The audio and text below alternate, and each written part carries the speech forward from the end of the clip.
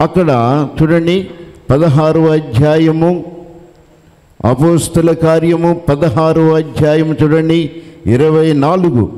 అతడు అతడు ఆజ్ఞ అతడు అట్టి ఆజ్ఞను పొంది ఆ, వారిని లోపలికి చెరసాలలోనికి త్రోసి వారి కాళ్ళకు బొండ వేసి బిగించెను. అయితే మధ్యరాత్రి వేళ. అయితే మధ్యరాత్రి వేళ పౌలును శీలయు పౌలును శీలలు దేవునికి ప్రార్థించుచు. దేవునికి ప్రార్థన చేయుసు కీర్తనలు పాడుచు నుండిరి. కీర్తనలు పాడుసుండిరి ఖైదీలు వినుచుండిరి. సైనికులు వినుసుండిరి అప్పుడు అకస్మాత్తుగా. అప్పుడు అకస్మాత్తుగా. మహాభూకంపము కలిగెను. మహాభూకంపము కలిగెను. చెరసాల పునాదులు అదరెను. చెరసాల పునాదులు అదరెను. కదిలెను. వెంటనే తలుపులన్నీ వెంటనే తలుపులన్నీ కూడా తెరుచుకొనెను. తెరుచుకొనెను అందరి బంధకములు ఊడెను. అందరి బంధకాలు ఊడిపోయినాయి. అక్కడ ఎవరెవరు చెప్పండి? పౌలు శీల ఎవరమ్మా? శీలయు శీల ఇద్దరు కలిసి వారిని కొట్టి శరసాలలో వేసినప్పుడు వారు అర్ధరాత్రి వేళ ఆ నొప్పులు బాధలు వేదనలతో ఉన్న దేవుణ్ణి స్తుతించటం వారు మాననే మానలేదు. దేవునికి సోదరము అలెలోయ శ్రమలలో శుతించటం వేదనలో దేవుణ్ణి కీర్తించటం. కనుక వారు దేవుని శక్తిని ఎందుకంటే వారి బాధలు వారి వేదనలు వారికి బాధలు వారికి అనిపించడం లేదు. వారు అనుకుంటున్నారు మా దేవుణ్ణి ఇదే అనుకూల సమయమని ప్రార్థన చేస్తూ పాటలు పాడుతూ దేవుణ్ణి మహిమపరచగానే సంఖ్యళ్ళు ఊడిపడిన బంధకములు ఏమని చెప్పండి తెగి. పడిపోయాను. దేవునికి సోదరము అలా శరసాల తలుపులు తెరవబడ్డాయంట. కనుక దేవుని స్థుతించటంలో వారు ఆనందించేవారు వారు అన్ని విషయాలలో శ్రమ కలిగినప్పుడే వారు ఏం చేస్తారు చెప్పండి? దేవుణ్ణి ఆరాధన చేస్తారు. కొంతమంది ఏం చేస్తారు చెప్పండి? శ్రమలు ఉన్నప్పుడు చేస్తారు శ్రమలు లేనప్పుడు నిద్ర పోతారు. కనుకని దేవుడు అంటున్నాడు సామెతల గ్రంథము ఆరో అధ్యాయము చూడండి తొమ్మిదో వాక్యము. సోమరి సోమరి ఎందాక నీవు పండుకొని ఉందువు సోమరి ఎందాక నీవు పండుకొని పండుకొని ఎప్పుడు నిద్ర లేచెదవు. ఎప్పుడు నీవు నిద్ర లిగిసెదవు ఇక కొంచెము నిద్రించేదనని. ఇంకా కొంచెము నిద్రించేదనని. నిద్రించదనని. కొంచెము కునికెదనని. కొంచెము కునికెదనని. కొంచెము సేపు. కొంతసేపు చేతులు ముడుచుకొని చేతులు పరుండెదనని ముడుచుకునేదవు. పరుండెదనని. అమ్మా. చేతులు ముడుచుకొని. చేతులు ముడుచుకొని. పరుండెదనని. పండుకొందునని నీవు అనుకొనుచుందావు నీవు అనుకొనుస్తున్నావు అందుచేత అందుచేత దోపిడీగాడు వచ్చినట్లు దోపిడీగాడు వచ్చునట్లు దారిద్ర్యము నీ యొద్దకు వచ్చును. దారిద్ర్యము నీ యొద్దకు వచ్చును. వచ్చును. ఓ సోమరి ఓ సోమరి దేవుడు ఏమంటున్నారు చెప్పండి జరగబోయే కీడును తప్పించుకోలేని వారు. జరిగే కీడును దేవుడు తెలియపరిచిన ఆ కీడును తప్పించుకొని వారు వీలు లేని వారిని దేవుడు అంటున్నాడు. ఓ సోమరి లారా. దేవునికి సోద్రము. అలెలయ కనుక ఓ సోమరి ఇంకా నీవు ఎంతవరకు నిద్రపోతావు? ఎప్పుడు నీవు మేల్కొనేదవు? ఇంకా కొంచెము నిద్ర ఇంకా కొంచెము కునుకుపాటని నీవు అనుకునేదవు. చేతులు ముడుచుకొని నీవు పరుండెదవని పండుకునేదవు. దరిద్రము నీ వద్దకు అందుచేత ఏం చేస్తుంది చెప్పండి? దోపిడీగాడు వచ్చినట్లు దోపిడిగాడు వచ్చినట్లుగా దారిద్ర్యము నీ యొద్దకు దారిద్ర్యము. నీ వచ్చును. వస్తున్నది దేవునికి స్తోత్రము. అలెలుయ కనుక అలాగే బుద్ధి కలిగిన కన్నికలు బుద్ధి లేని కన్నికలు. వారు ఏం చేస్తున్నారు చెప్పండి? దేవుని యొక్క హెచ్చరికలు. వారి వద్దకు వచ్చినప్పుడు సంఘమంతా అత్యాశక్తితో ఆసక్తితో ఉండాలి అని దేవుని బోర వారికి వినపడక మునిపే దేవుని శబ్దము వారి యొద్దకు వస్తుందని ఆ యొక్క గమనిక వారికి తెలిసినప్పుడు వారు ఏం చేస్తున్నారు చెప్పండి? బుద్ధి కలిగిన కన్నికలు బుద్ధి లేని వారు కలిసి ఉన్నారు. కానీ బుద్ధి కలిగిన వారు ఆ శబ్దాన్ని విన్నారు. ప్రభు రాకడలో సిద్ధపడ్డారు. వారు దీటీలు వెలిగించుకున్నారు. ప్రభుతో పాటు సిద్ధపడి వెళ్ళిపోయారు. ఈ బుద్ధి లేని కన్నికలు ఏం చేశారు చెప్పండి. వారు వారు లెగిసి దీటీలను వెలిగించుకుని ప్రభుతో వెళుతూ ఉండగా అప్పుడు లెగిసి మా దీటీలు కూడా వెలిగించుకోవడానికి నూనె మాకు ఇవ్వమని కోరుకున్నారు. దేవునికి స్తోత్రము. హల్లెలూయా. కనుక వారికి ఇక అప్పుడు ఆ క్షణములో లెగిసి ప్రభువా ప్రభు అని పిలిచిన ఉపయోగము లేదు. ఎందుకంటే దేవుడు అంటున్నాడు జరగబోయే ప్రతి కీడు తప్పించుకునే శక్తిని దేవుడు మనకు తెలియపరుస్తున్నాడు. కనుకని సాతాను ఈ లోకములో ప్రతి వారిని కూడా దారిద్ర్యము కలగ చేయాలని వాడు ఏం చేస్తున్నాడు చెప్పండి? వెతుకుతూ తిరుగుతూ ఉన్నాడు. కనుక పేతురు ఎంతగానో నిద్రపోయిన దేవుడు ఏం చేశాడు చెప్పండి?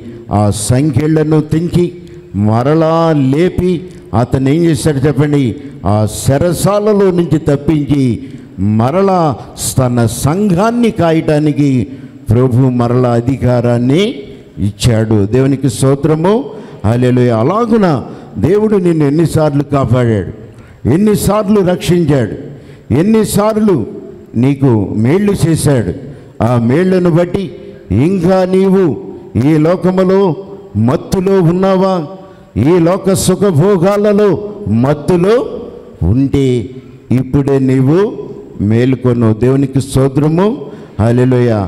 ఐశ్వర్యము అలాగునే నీకు కలిగిన తిండి ఈ లోక మత్తులో నీవుంటే ఇప్పుడే నీవు మేల్కొనమని ప్రభు అక్కడ తెలియపరుస్తున్నాడు.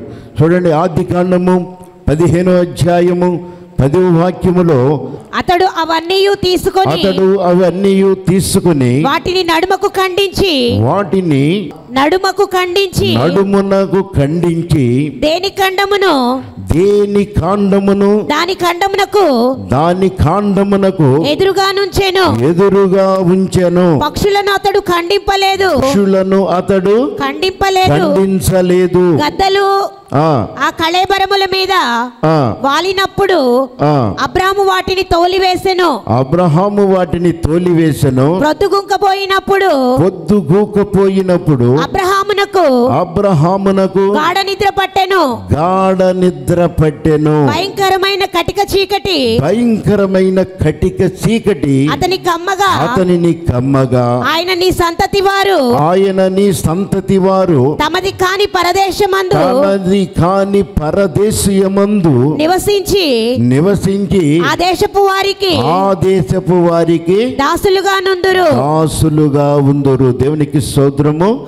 హల్లెలూయా. అబ్రహాముతో దేవుడు అన్నాడు ఆయనకు బలిపీఠము కట్టి ఆ బలిపీఠము మీద బలి అర్పించు అన్నాడు.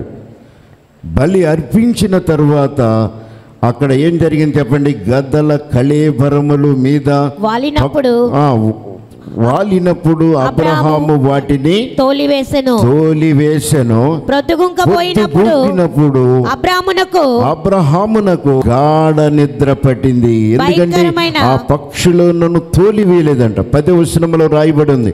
అతడు అన్నియు ఆ, అతడు అవన్నీ తీసుకొని అవన్నీ తీసుకుని వాటిని నడుమకు ఖండించి వాటిని నడుమునకు ఖండించి దేని ఖండమును దేని కాండమును దాని ఖండమునకు దాని కాండమునకు ఎదురుగా నుంచెను. ఎదురుగా ఉంచెను. పక్షులను అతడు ఖండింపలేదు. పక్షులను అతడు ఖండింపలేదు. ఖండించలేదు. దేవునికి సోదరము. హల్లెలూయా. పక్షులు కొన్ని వచ్చినాయి. సాతాను.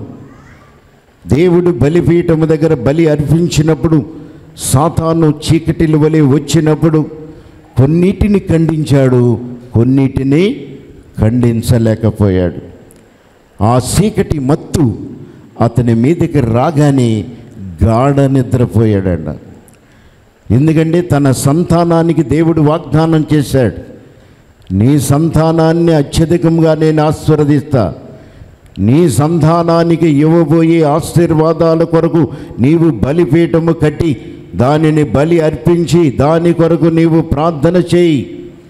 ఆ ఆశీర్వాదము మీద ఏ సాతాను నిన్ను చోదించకుండా నీ సంతానానికి శ్రమలు రాకుండా నీవు వాటి కొరకు ఏమన్నా చెప్పండి? ప్రార్థన చేయి అని చెబితే అక్కడ ఏం చేశారు చెప్పండి?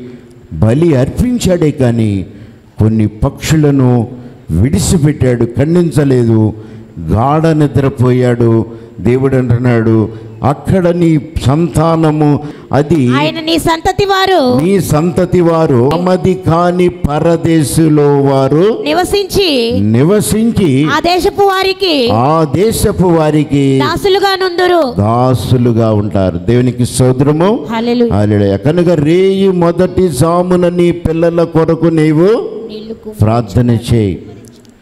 రేయి మొదటి సామున నీ పిల్లల కొరకు నీవు ప్రార్థన చేయి. దేవుని మాట. ఎందుకంటే ఆయన నీతో ఏమి సెలవిస్తున్నాడో ఆ వాగ్దానాలు దేవుడు నీకు ఇచ్చిన ఫలాలు ఫలించాలి అంటే నీవు ప్రార్థన ఎప్పుడైతే మానేశావో దేవుని సన్నిధిలో నీవు ఎప్పుడైతే పెడముఖముగా ఉన్నావో ఆ దేవుడు ఏమన్నారు చెప్పండి? కటిక చీకటి నిన్ను ఆవరిస్తుంది. దేవునికి సోద్రము అలే అబ్రహాము సంతానాన్ని ఏమైంది చెప్పండి? కటిక చీకటి ఆవరించింది. కనుక ఆ దేశములో వారు బానిసలైపోయారు. ఎన్ని సంవత్సరాలు చెప్పండి? నాలుగు వందల ముప్పై సంవత్సరాలు ఐగుప్తు దేశములో అబ్రహాము యొక్క సంతానం అక్కడ బానిసత్వాన్ని వహించింది. దేవునికి స్తోత్రము. అలలయ కనుక రేయి మొదటి సామున నీ పిల్లల కొరకు నీవు ప్రార్థన చేయి. ఏ కీడు నీ మీదకి రాకుండా నీ సంతతి కొరకు నీవు ప్రార్థన చేయి అని దేవుడు నీకు తెలియపరుస్తున్నాడు. పేతురు పేతురు ఇదిగో సాతాను నిన్ను పట్టుకొని గోధుమలు సల్లించినట్లుగా సల్లించాలని కోరుకొని ఉన్నది. కనుక నీ నమ్మిక తప్పిపోకుండా నేను ప్రార్థన చేస్తున్నాను నీవు ప్రార్థన చేయి అని తెలియపరిచినప్పుడు పేతురు నేను నిలబడి ఉన్నాను ప్రభా నేను ధైర్యంగా ఉన్నాను ప్రభా అని అన్నాడే కానీ అతను పేతురు ఆ బలహీనతలను దేవుడు ఎరిగిన దేవుడు అతని బలహీనతలను ఎరిగి మాట్లాడుతున్నా నేను అలాంటి వాడిని కాదని అన్నాడే కానీ అతను మాటను నిలబెట్టుకోలేకపోయాడు. దేవునికి సోదరము హల్లెలూయ. కనుక దేవుడు మనకిచ్చిన ప్రతి విషయములో మనము ఆయన వాగ్దానాలను తోసివేసినప్పుడు మనము ఏమవుతాం చెప్పండి? శోధనలకు గురి అవుతాం. కనుకనే పిలిపిలకు రాసిన పత్రికలో నాలుగు అధ్యాయం చూడండి ఐదో వచనాన్ని చూడండి. నీ సహనమును సకల జనులకు తెలియబడనీయుడి. సహనమును సకల జనులకు తెలియబడనీయుడి. తెలియపడనివ్వండి ప్రభు సమీపముగా ఉన్నాడు. సమీపముగా ఉన్నాడు. దేనిని గురించి చింతపడకుడి. దేని గురించి కూడా చింతపడకుడి. చింతపడకండి. కానీ చింతించకండి కానీ ప్రతి విషయములోను ప్రతి విషయములో ప్రార్థనా విజ్ఞాపనముల చేత ఆ, కృతజ్ఞతాపూర్వకముగా ఆ, మీ విన్నపములు మీ విన్నపములు దేవునికి తెలియచేయుడి. దేవునికి తెలియచేయండి. అప్పుడు సమస్త జ్ఞానము అప్పుడు సమస్త జ్ఞానమునకు మించిన దేవుని సమాధానము యేసుక్రీస్తు వలన మీ హృదయాలకు మీ తలంపులకు కావలి ఉండును. కావలిగా ఉంటుంది. దేవునికి స్తోత్రము. హల్లెలూయా. ఎల్లప్పుడూ ప్రభునందు ఆనందించండి. మరలా చెప్పుస్తున్నాను. మీ సహనాన్ని సకల జనులకు తెలియబడని తెలియబడనివ్వండి. ప్రభు సమీపముగా ఉన్నాడు. దేని గురించి చింతించకండి. ప్రతి విషయములో ప్రార్థనల విజ్ఞాపనలు చేయుచు మెలకువ కలిగి ఉండండి. దేవునికి స్తోత్రము. హల్లెలూయా. కనుక దేవుడు ప్రతి విషయములో నీ కుటుంబం ఇలా ఉన్నది. నీ దురవస్థ నీకు రాకకు మునిపే నువ్వు మేల్కొనమని ప్రార్థన చేయమని తెలియచెప్పినప్పుడు మనం ప్రార్థన చేసినప్పుడే ఆ శోధనలు జయించగలుగుతాం. లేదా మన కుటుంబానికి మన బిడ్డలకు మనమే ఏమవుతాం చెప్పండి? శోధనకరంగా మారిపోతాం. అబ్రహాము అలాగే దేవుడు బలి అర్పించమన్నాడు. అర్పించాడే కానీ దానిని తిరిగి మరలా ఏమన్నారు చెప్పండి? ఆ బలిపీఠము మీద చీకటిని తమిరి కొట్టలేకపోయాడు. ఆ పక్షులను ఖండించలేకపోయాడు. కనుకని తన సంతానము ఏమైంది చెప్పండి? వేరే దేశములో పరదేశులుగా ఉండి బానిసలుగా వారు ఉండవలసి వచ్చింది. దేవునికి సోదరము అలెలయ కనుకని దేవుడు మనకు తెలియపరుస్తున్నాడు. ప్రతి విషయాన్ని తెలియపరుస్తున్నాడు. కనుక వాటిని మనము ఎరిగిన వారై మనం నిలబడుటకు ప్రభు సన్నిధిలో శక్తిని కావాలని ప్రార్థన చేయండి. దేవుడు మీ పక్షానున్నాడు మీకు సమీపముగా ఉన్నాడు. కనుక ఏ విషయంలో చింతించకండి మీ చింత యావత్తు ఆయన మీద వేయండి. అప్పుడు మీ తలంపులకు దేవుడు తోడుగా ఉన్నాడు. దేవునికి సౌద్రము హల్లెలూయ. దేవుడు మనకిచ్చిన సమయంలో మనము దేవుని సన్నిధిలో మనకిచ్చిన సమయంలో మనం సద్వినియోగం చేసుకోనకపోతే శ్రమల పాలయ్యేది మన కుటుంబం మనమే. కనుక ఆ విషయాన్ని మనం గుర్తించకపోతే మరి ఇప్పుడైనా ప్రభు సన్నిధిలో దేవుని వాక్యాన్ని బట్టి అలాగనే మరి మన ఎదుట దేవుడు ఉంచిన ఆ ద- దేవుని వాక్యాన్ని బట్టి మన హృదయాలు మనం సమాధానపరుచుకొని ఏ విషయంలో బలహీనులుగా ఉన్నామో ఆయన ఎదుట సమాధానపడుట ఎంతో మంచిది అని దేవుడు అక్కడ తెలియపరుస్తూ ఉన్నాడు. దేవునికి స్తోత్రము. హల్లెలూయా. కనుక దేవుడు మన కొరకు ఆయన ఈ లోకములో తన చేతులు సాపాడు. ఎవరు కూడా నిద్రించే వారిగా కాకుండా మేల్కొనండి మేల్కొనండి అని ప్రభు తెలియపరుస్తున్నాడంటే నీ కుటుంబ పరిస్థితులు ఏ రీతిగా ఉన్నాయో ఆయన ఎరుగున్నాడు కనుక వాటి విషయంలో ప్రార్థన చేయండి మెలకు కలిగి ఉండండి. ప్రతి సందపూట ఏమన్నారు చెప్పండి? ప్రతి ఉదయమున నీ బిడ్డల కొరకు రేయి మొదటి జామున ప్రార్థన చేయి. ప్రార్థన చేసినప్పుడు తప్పకుండా దేవుడు నీ శోధనలో నుంచి నిన్ను విడిపించి నిలబెట్టుటకు శక్తివంతుడిగా ఉన్నాడు కనుక ఆయన సన్నిధిలో మీ ప్రార్థన తెలియచేయండి. దేవునికి సోదరము హల్లెలూయా. దేవుని వాక్యము దీవించునుగాక. దేవునికి వందనాలు. అమ్మగారికి వందనాలు అయ్యగారికి వందనాలు కుడివన మీద నా వందాలండి నా పేరు నాగేశ్వరం అండి. నేను ఆర్టీసీలో జాబ్ చేస్తాను. నేను రెండు వేల పదమూడులోనే నా కుటుంబంతో మాకున్న సమస్యలను బట్టి చనిపోవాల్సిన వాళ్ళం అండి. ఆ రోజే రెండు వేల పదమూడులోనే సూసైడ్ చేసి చచ్చిపోదామని ప్రిపేర్ అయ్యి వెనక్కి వచ్చిన వాళ్ళు. అంటే అలాంటి టైంలోనే మన మదిరి గురించి తెలిసి మదిరికి వచ్చిన తర్వాత మా జీవితం ఎన్నో ఆశ్చర్యకార్యాలండి మొత్తం అసలు చెప్పుకోవడానికి కూడా వాళ్ళ అన్ని ఆశ్చర్యాలు జరిగినాయి. ఇన్ని ఆశ్చర్యాలు జరిగినా కూడా నేను దేవుడిలో పూర్తిగా విశ్వాసం నడవలేకపోతున్నాను. మరి రెండు వేల ఇరవై వరకు కూడా దేవుడు నుంచి చాలా గొప్పగా కాచి కాపాడండి. నన్ను నా బిడ్డను కూడా కుటుంబాన్ని కూడా బాగా కాచి కాపాడండి. రెండు వేల ఇరవై ఒకటిలో భయంకరమైన శోధనలు వచ్చినాయండి. అసలు ఇక నేను తట్టుకోలేనేమో ఆ సమస్యలని ఆ సోదరులు అనుకున్నానండి. నేను ఎవరికి చెప్పను కూడా చెప్పలేదు. ఇంతవరకు ఇంతవరకు ఎవరికి చెప్పలేదు అసలు. మా ఆ రెండు వేల ఇరవై ఒకటిలో ఫస్ట్ మా ముగ్గు మా కుటుంబంలో ముగ్గురు చనిపోయారండి. వరుసనే వారం పది రోజుల గ్యాప్లోనే ముగ్గురు చనిపోయారు. మా అత్తగారు మా మామగారు మా చిన్న మామగారు వరుసనే చనిపోయారు. అసలు అదే ఇది అనుకుంటే మే నెలలో మా అందరికీ కుటుంబంలో పదిహేడు మంది టెస్ట్ చేయించానండి నేను. కరోనా టెస్ట్ సెకండ్ వేవ్ బాగా కుదురుతున్న టైంలో పద్నాలుగు మంది పాజిటివ్ వచ్చింది. ముగ్గురికి నెగిటివ్ వచ్చింది. అందరికి పాజిటివ్ వచ్చేసింది. అసలు ఏం చేయాలో అసలు అసలు పిచ్చెక్కిపోతుంది అనమాట అసలు అర్థం కాని పరిస్థితి. బయటికి వెళ్ళే పరిస్థితి లేదు. మందులు కూడా దొరకట్లేదు. ఏం చేయాలో తెలియని పరిస్థితిలో నేను ఒకటే అనుకున్నాను.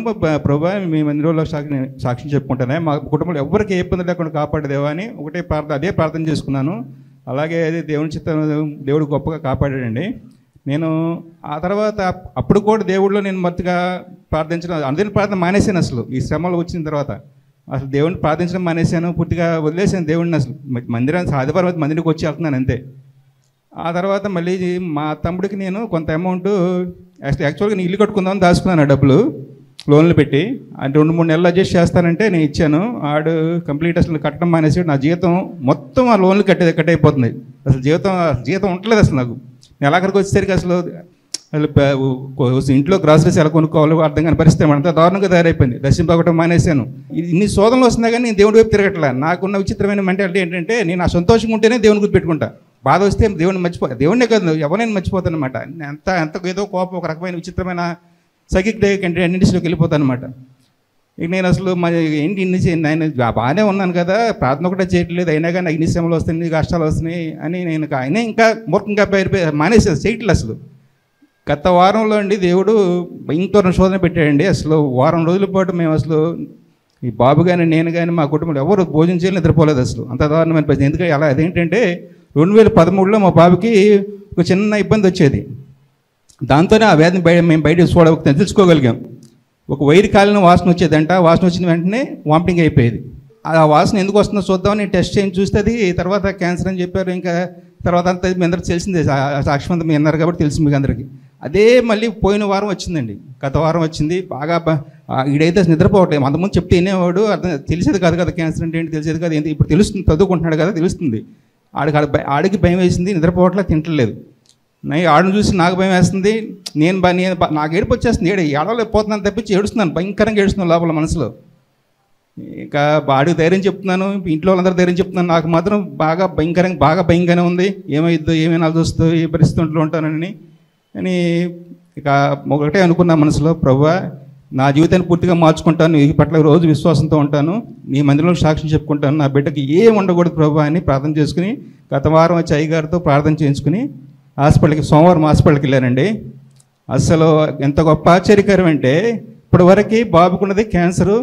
అది దానికి సంబంధించిన మొత్తం ప్రోటోకాల్ అంతా చేసేసారు. రేడియేషన్ పెట్టారు కీమోథెరపీ పెట్టారు సర్జరీ చేశారు అన్నీ చేశారు. చేసిన తర్వాత ఇప్పుడు డా నిన్న నాకు డాక్టర్ చెప్తే ఆయన చెప్తుంది ఏంటంటే నాకు అసలు ఇంత గొప్ప దేవుడు పోయాను అనుకున్నాను. అసలు ఇది క్యాన్సరే కాదండి. క్యాన్సర్ లాంటిది ఇది. క్యాన్సర్ అంటే బాడీ క్యాన్సర్ అంటే మళ్ళీ మళ్ళీ వస్తుంది ప్లస్ బాడీలో ఎక్కడికైనా వెళ్ళిపోద్ది. ఇదేంటంటే ట్యూమరు మళ్ళీ బాబుకున్నది ఏంటంటే మళ్ళీ మళ్ళీ వచ్చే అవకాశం ఉన్న ట్యూమరు.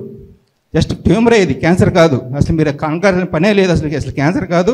అసలు బాబుకి అది మళ్ళీ వచ్చే అవకాశం నైంటీ నైన్ పర్సెంట్ లేదు. అసలు నైంటీ నైన్ పర్సెంట్ అసలు వచ్చే అవకాశమే లేదు. అదేంటంటే బాబు బాగా స్ట్రెస్ ఫీల్ అయినా భయపడ్డా కానీ కంగారు పడ్డా కానీ పిట్స్ ఆ వాసన రావడం పిట్స్ అంట. యాక్చువల్ పిట్స్ వచ్చి కింద పడి కొట్టుకోవడం అనుకుంటాం. కింద పడి కొట్టేసుకుంటారు కదా అది అనుకుంటాం. కానీ ఇది అది కాదంట. ఆ వాసన వచ్చినా సరే అది కూడా పిట్స్ అంటారంట మెడికల్ లాంగ్వేజ్లో. అది పిట్స్ అండి. యాక్చువల్గా మేము లైఫ్ లాంగ్ వాడాలంట ట్యాబ్లెట్ ఆ పిట్స్కి మేము రెండు వేల పదిహేనులోనే మానేసాం వాటర్ల బాబుకి. దానివల్ల ఇప్పుడు మళ్ళీ వచ్చి ఉంటుందండి కంగారు పడాల్సిన పని ఏం లేదు. టెస్టులు చేద్దాం అసలు ఏం లేదండి మీరు అసలు అస్సలు రాదు. వచ్చే ఛాన్సే లేదు ఇంకా. వచ్చేది అయితే ఫైవ్ ఇయర్స్ బ్యాక్ ఏ రావాలి రాలేదంటే రాదు ఇంకా వచ్చే ఛాన్స్ లేదు. సంతోషంగా బాబుకి కూడా చెప్పాడండి మీరు కంగారు పడొద్దాం అసలు ఇంకా కంగారు పడాల్సిన పనే లేదు. నీకుంద క్యాన్సర్ కాదు చక్కగా చదువుకో బాగా ఫుడ్ తీసుకో హాయిగా నిద్రపో. నీవు సంతోషంగా ఆడుకో తిరుగు చక్కగా.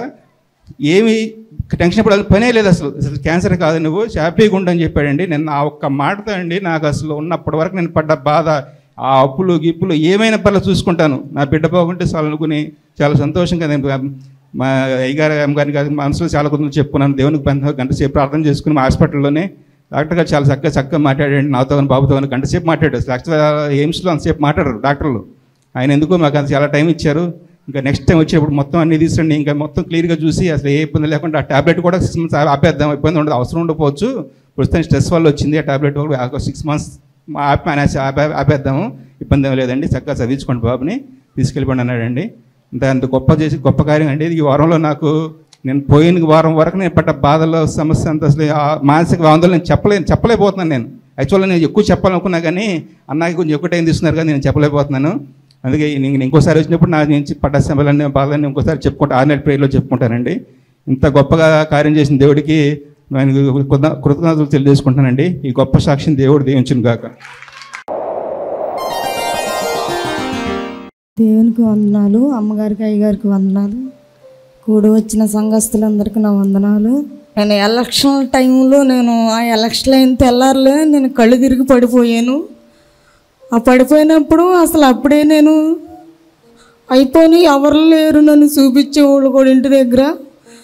అప్పుడే నేను అయిపోయానని చాలా బాధపడ్డాను. మరి అప్పటి నుంచి కూడా నాకు లైట్గా గుండెలోనే పోతుంది.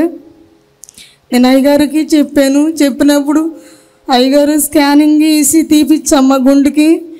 మరి బలహీనతగా ఉందో ఏ విధంగా ఉందో తెలిసిద్ది కదా దాన్ని బట్టి టాబ్లెట్లు వాడుకోవచ్చు అని అయ్యగారు చెప్పారు.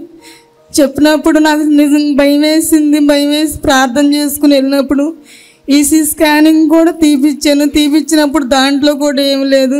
బ్లడ్ కొంచెం చిక్కబడుతుందమ్మా ఏమి లేదు. టాబ్లెట్లు వాడు తగ్గిపోద్ది అన్నారు అప్పుడు కూడా వాడినా కానీ అసలుకి నాకు లైట్గా నొప్పి వస్తూ ఉండేది ఉండి ఉండి వస్తూ ఉండేది అనమాట చాలా భయం వేసేది నేను ప్రార్థన చేసుకునేదాన్ని. మరి ప్రార్థన చేసుకున్నప్పుడు కూడా కనీసం అయ్యగారికి చెప్పి మళ్ళీ తగ్గలేదా అలాగ ఉందన్నప్పుడు అయ్యగారు నాకు ప్రార్థన చేసి ఏసు రక్తం బాటిల్ ప్రార్థన చేసి ఇచ్చినప్పుడు మరి ఏసు రక్తం నేను వేసుకున్నాను వేసుకున్న కాడ నుంచి ఇప్పుడు వరకు కూడా గుండెల్లో నొప్పి రాలేదు నాకు. ఈ గొప్ప సాక్ష్యం దేవుడు దీవించిన గాక.